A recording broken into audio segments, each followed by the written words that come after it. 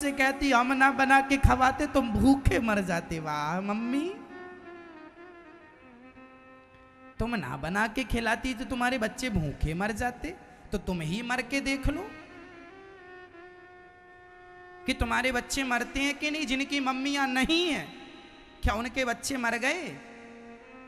कि तुम्हारे ना रहने पे तुम्हारे बच्चे मर जाएँगे?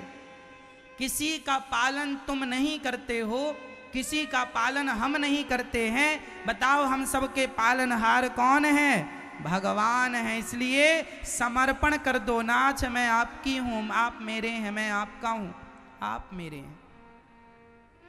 अहंकार भरी बातें शोभा नहीं देती। आप कितना भी अहंकार कर लो, कितनी भी डींगे मार लो, कोई फ़ायदा नहीं है। है ना? झूठी डींगों से क्या होगा? कहते रहो।